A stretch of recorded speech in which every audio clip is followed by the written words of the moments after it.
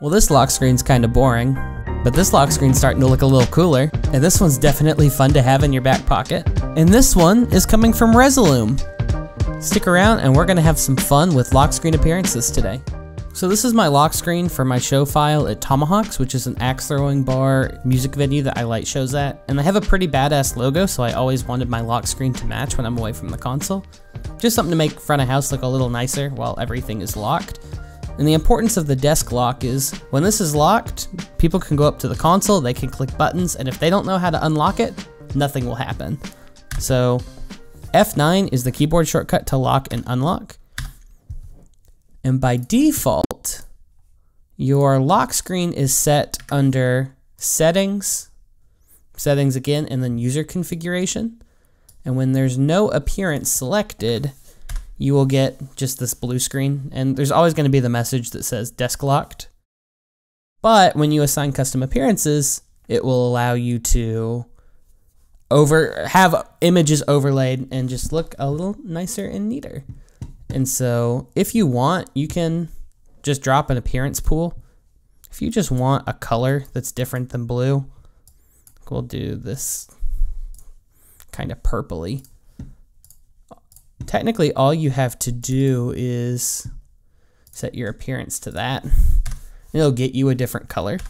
But if you want to drop an image over top, the first thing that you'll need to do is drop the image you want. So this is a PNG file of the logo. So you'll need to go to your MA home folder, which on the Mac is just under the regular Mac home folder, and on Windows, I'll drop an on-screen directory. Then your software version, then shared, resource, and then for images, we'll just drop this logo right into the images folder. And then I'm gonna scroll down because I also want to do, in this case, this is a little Pedro raccoon. I had this in one of my other show files and it was just something real fun to get to throw up and make fun of the audio engineers for not having the ability to do on their console. But we can drop this under the videos library folder. We'll just drop this GIF right here.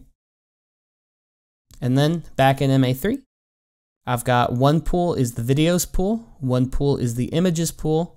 So I'm going to right click here. We're going to import an image. There's our Tomahawks PNG logo. We're going to import that, close it.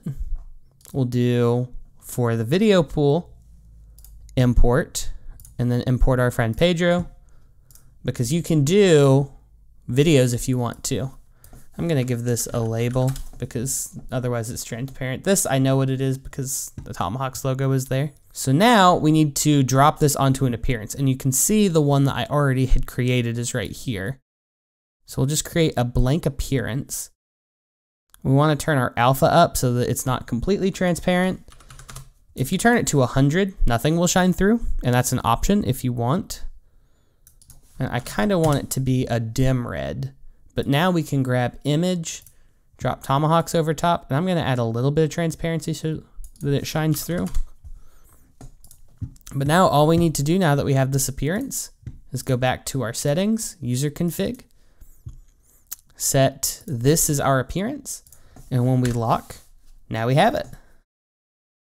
If I come in and I set this alpha to 100%, you can see that nothing behind it shines through if I set that alpha at 0%, you don't get any of the red.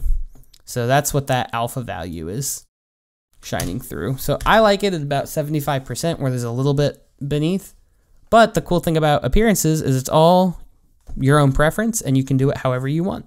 Now to take this a step further, I'm going to create another appearance. And in this case, instead of an image, I'm going to do a video and we'll do our Pedro here. We'll set our alpha at about 50%, and I'll let this one be kind of a cyan or a light blue. And now we'll go back to our user configuration and set our appearance to Pedro. And if you want something fun, I uh, this is always a party trick that I used to do on one of my other show files where I used to work.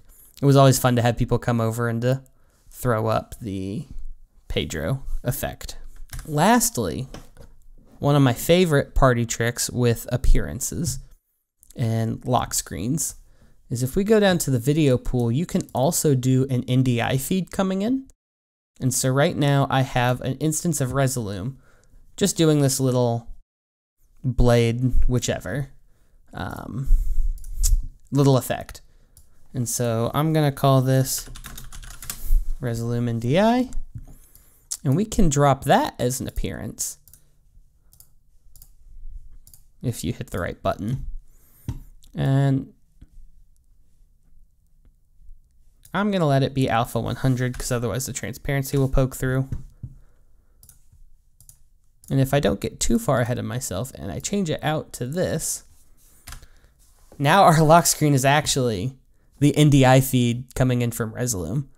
So that's something fun that you can do. I have never had any instability or problems running an NDI lock screen, but it's not something that I would per se recommend in the most mission critical environments but that said, on the flip side, I've never had a problem with it. It's always been rock solid stable. My personal concern might begin and end with me, and it's not a problem at all. But it is something fun that you can do and something unique if you want. So here's a quick look at the various lock screen appearances in MA3. I always have a really good time messing around with them while I'm waiting for a show to begin because doors are open. But if you like this content, hit subscribe, stick around. I'm going to keep producing little MA3 tips and tricks. Leave a comment if you have any questions or have any ideas for a video, and I'll see you in the next one.